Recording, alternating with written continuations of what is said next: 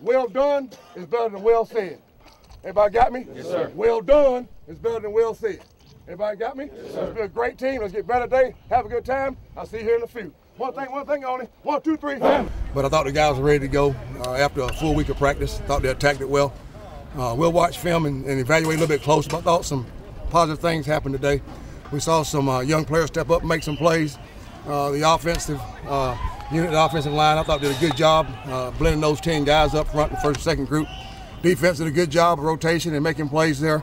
Some of those guys running around and uh, a lot of enthusiasm, really catching on what Rick wants. So uh, Warren and Trent did a good job in pre-practice or before scrimmage, uh, special teams, and I was proud to see that. And Warren had a chance to get some there doing uh, the scrimmage. So uh, day down, and we'll prepare the rest of the day and get ready for the rest of the week. Um, just some young guys stepping up, like you were talking about. Uh, 85 Davon, you know, he's, he's been practicing real well, and he, he brought his practice skills over here to the game field, which is good. Uh, you see freshmen sometimes.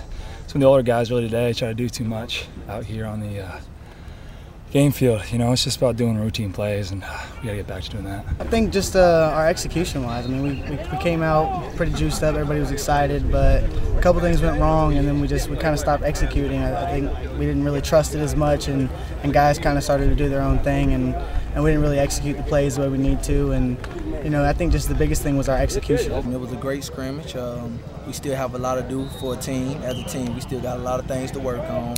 Uh, but today was pretty. It was pretty good. I mean, um, like I said, we got a lot of stuff to work on. We got to make more plays, make tackles. And today we just look at the film and figure out what what are we missing and what we need to work on to get better. Uh, you know, I think we did a good job today. Uh, the whole defensive staff did a good job throughout this entire camp, getting us ready to compete, uh, not only for today but just every day. And then uh, on the 31st, Old Dominion.